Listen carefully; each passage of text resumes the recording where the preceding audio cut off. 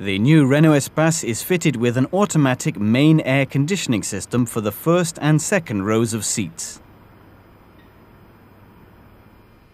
Depending on the version, an additional air conditioning system is available for the third row with air vents in the rear quarter panel linings.